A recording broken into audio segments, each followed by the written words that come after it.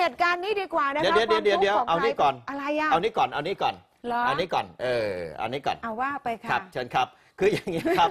ทกสเนี่ยนะฮะค่ะเขามีโครงการทกสปลูกความรู้ให้หนูอิ่มท้องที่อสมท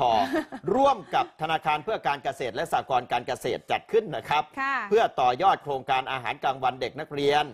เอ่อโรงเรียน 10 แห่งทั่วประเทศค่ะนะครับ แล้วก็โรงเรียนแห่งที่ 2 ที่มีการไปจัดกิจกรรมกันนะครับ ก็คือโรงเรียน พรหมราชรังสรรค์กทม ไปติดตามจากรายงานชิ้นนี้นะครับ เชิญครับ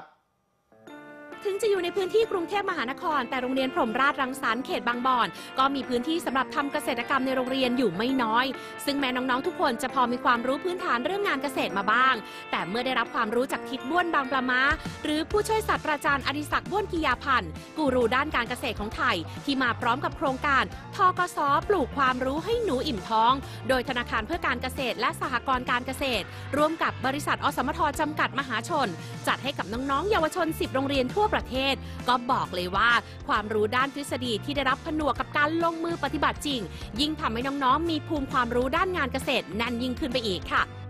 ขอแสดงความชื่นชมทางทกสนะฮะ แล้วก็อสมทที่มาทำโครงการนี้ เพราะว่าเด็กในวันนี้เนี่ยถ้าเราเปรียบเทียบกับต้นไม้นะฮะเด็กก็เหมือนต้นกล้า เพราะถ้าเราปลูกฝังต้นกล้านะฮะอย่างที่เราบอกว่าปลูกความรู้ ให้ท้องหนูอิ่มเนี่ยนะฮะก็หมายความว่าถ้าเขามีความรู้ดี โดยเฉพาะทางด้านการเกษตรเนี่ยนะฮะเขาก็สามารถที่จะไปต่อยอดได้ ทั้งที่บ้านแล้วก็ที่โรงเรียนนอกจากความรู้ด้านเกษตรที่จัดเต็มแล้ว โครงการนี้ยังคัดสรรความรู้ด้านอื่น ๆ ที่จำเป็นกับน้อง ๆ ด้วย โดยแบ่งเป็น 4 ฐานกิจกรรม ทั้งฐานวิทยาศาสตร์ ฐานสุขอนามัย ฐานการออม และฐานการเกษตร ที่นอกจากจะได้รับความรู้ความเข้าใจเกี่ยวกับองค์ประกอบ และอาหารของดินแล้ว น้องๆยังได้ช่วยกันปลูกต้นไม้ ซึ่งเป็นไม้ผลกินได้ ทั้งมะม่วง ขนุนและชมพู่เพื่ออนาคตข้างหน้า พวกเขาจะได้อิ่มท้องกับต้นไม้ที่ได้ร่วมด้วยช่วยกันปลูกในวันนี้ค่ะ ชอบฐานปลูกขนุนเหมือน เพราะว่าได้ลงมือทำเองสนุก น้องๆจะได้รับความรู้เกี่ยวกับการปลูกต้นไม้กัน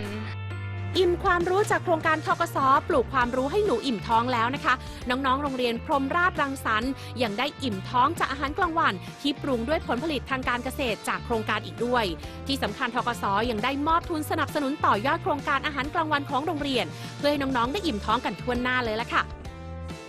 ส่วนหนึ่งเนี่ยเราขยายผลจากพืชผักที่เราขายได้เนี่ยเราก็ไปไปซื้อเป็นผลผลิตอย่างด้านอื่น เช่น มาทำแปลงผักขยายเพิ่มขึ้นนะคะปลูกมะนาวในบ่อซีเมนต์นะส่วนหนึ่งก็เข้าโครงการอาหารกลางวันที่เด็กได้รับประทานเอง ได้ปลูกเองทำเองโรงเรียนเชื่อแน่ว่าเด็กเด็กของเราทุกคนเนี่ยสามารถนำความรู้ที่ได้เนี่ยไปต่อยอด เพื่อเป็นรายได้ของตนเอง เพื่อการประกอบอาชีพในอนาคตของเด็กได้อย่างแน่นอน